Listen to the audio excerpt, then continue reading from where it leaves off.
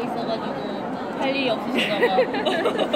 아니 차라리 이게 더 나아요. 저번에 왔을 때는 네. 엄청 많아가지고 사람이요? 예 아 맞아 그때 엄청 많았다 맞나? 봄이라서 그랬던 것 같아요. 봄이라서 날씨 좋으니까. 아 이게 조금 맞죠?